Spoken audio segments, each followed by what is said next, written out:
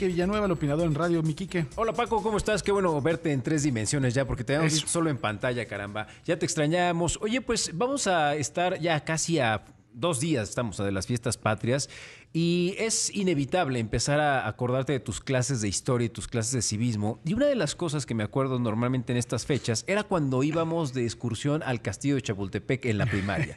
una de, los grandes, de las grandes mentiras y los grandes mitos de este país. Exactamente. Y me acuerdo que en primero de primaria, imagínate, tendría yo creo que seis años, y el guía de turistas, ya ves que te llevaba por este recorrido donde empezabas a caminar antes de que llegaras al, al castillo y te decían, aquí fue donde cayó el niño héroe que se aventó en la bandera. Pues eh, volaba más que Superman. Exactamente. Y lo primero que un niño de seis años pensaba, a ver, si la torre está a como a un kilómetro, ¿y cómo lo hizo para caer aquí, no? Sin embargo, ese mito te enseñaba cómo los niños podían estar comprometidos con su país, cómo eh, había que tener amor a la bandera, a los símbolos patrios, a la nación, a, ese ánimo que teníamos. Después fuimos avanzando y nos enteramos que el cura Hidalgo pues eh, tenía de cura muy poquito porque tenía varias de, mucha descendencia. Era, padre, era el padre de la patria porque casi se cepilló. porque, porque, se cepilló parte de la patria. Fíjate, aquí dos, dos cosas. Eh, a mí me tocó tener en la Escuela Libre de Derecho un extraordinario maestro de historia de Historia Patria, eh, que fue Elisur Arteaga. Elisur Arteaga Nava. Nos contaba varias cosas. Una de ellas importante es que se hizo algún estudio en donde la mayoría de los niños héroes, cuando se exhumaron los huesos, se dieron cuenta que los balazos estaban por la espalda. Así es. Y eso, y eso sí, en, dado caso de que fueran los restos, porque se hicieron el mausoleo, eh, por ahí este creo que eh, Miguel Alemán fue el que dijo ya, este, aquí están los restos, ya no se haga más. Este, asumimos que estos son los niños, pero creo que ni niños, ni creo que solo uno. De hecho, fue Miramón el único que está comprobado. Así es, eh, porque ya estaban también con una edad bastante crecidita. Y lo, de, lo del cura Hidalgo es una cosa magnífica. Eh, también ahí hay, hay, varias, varias, hay mucha literatura al respecto.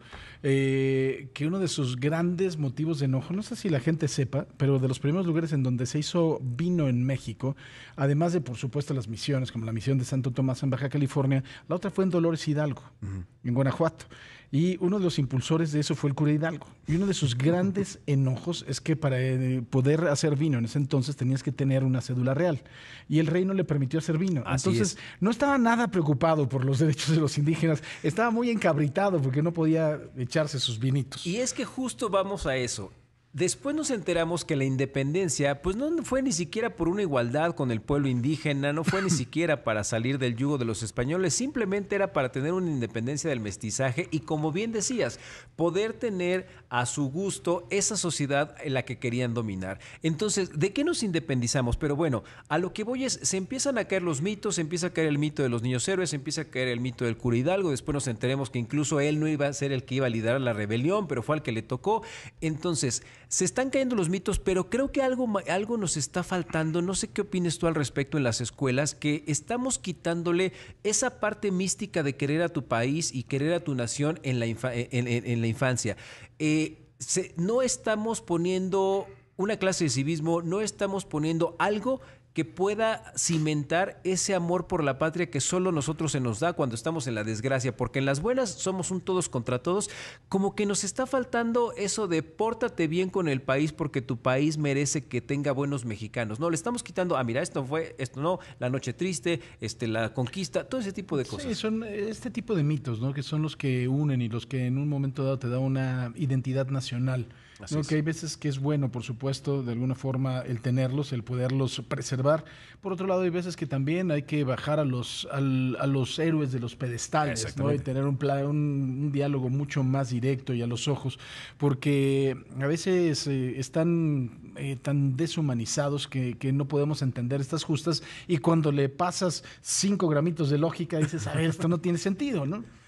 vayamos a, Pancho Villa, ¿no? Que de repente dices, ah, caray, pues según sus huesos el coxis no es de un hombre, es de una mujer. Entonces, ¿qué está pasando ahí, no? A lo mejor igual y cuando fueron a recogerlos parece que agarraron a otra señora.